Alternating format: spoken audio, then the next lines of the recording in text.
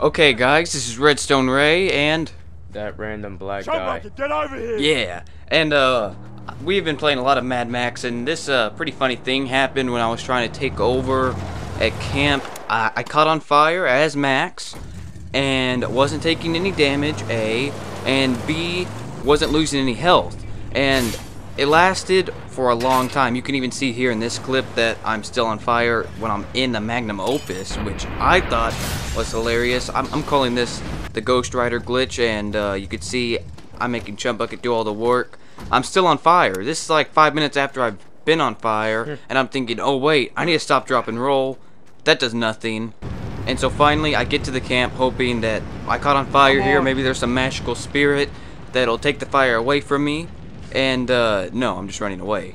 And obviously the fire's still sticking with me, so I need to come up with something way better.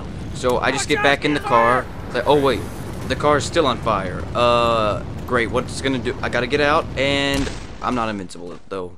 Well, yeah. That's crazy.